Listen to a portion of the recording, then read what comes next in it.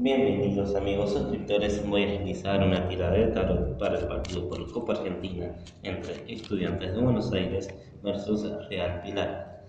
Los invito a suscribirse, activar la campanita y darle me gusta, además de comentar y compartir con sus amigos.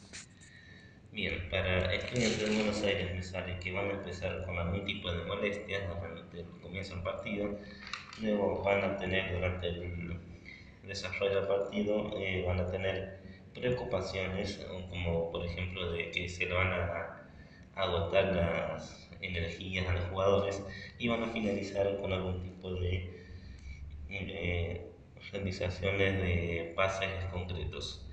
En cambio, para eh, Real Pilar me sale que va a haber dos jugadores que van a tener en mente la Copa Argentina y un jugador que intente dar el golpe para poder ganar.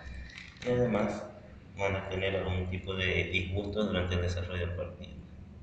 En esta tirada de tarot sale un ganador a Real Pilar pasando así de ronda.